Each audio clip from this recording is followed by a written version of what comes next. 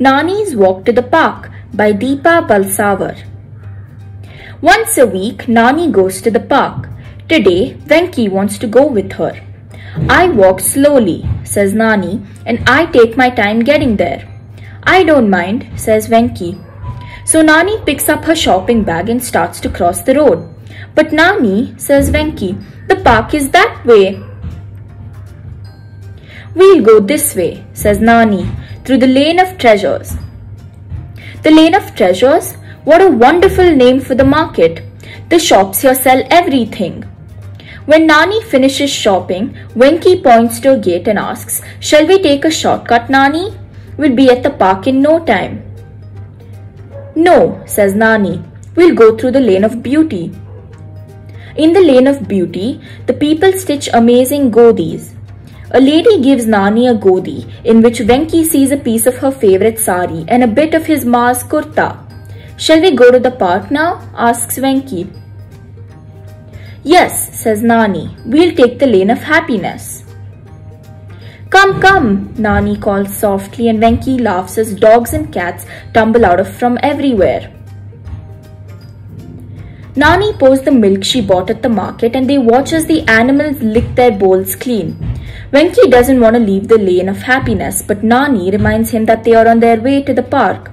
Next, Nani and Venki walk through a lane behind a little school. The children are playing Langdi, Lagori and Sakli. Is this the lane of noise? asks Venki. No, it's the lane of mischief. It reminds me of you and your friends, laughs Nani. Have you named all the lanes in the city? asks Venki. Not all, smiles Nani only the ones that are important to me. The park is not far now, but you will have to be a little patient. I want to stop at the lane of friendship. In the lane of friendship, Nani visits her dear friend. They were girls together and they have grown old together. They whisper and they giggle. Then Nani gives her friend a hug and says, It's time to leave. We will now walk through the lane of dreams. The Lane of Dreams has more books than Venki's school library.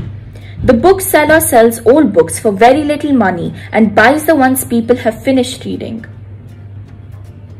Nani chooses a book and says, Let's go. We are almost at the park now.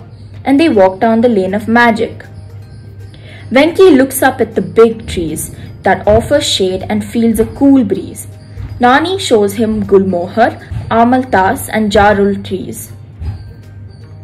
The flowers on the road look like a magic carpet. At least they are at the park. It has been a long time since they left home. Venki looks around and thinks of all the people and places he has seen that morning. I like your lanes, Nani, he says. May I come with you next week too?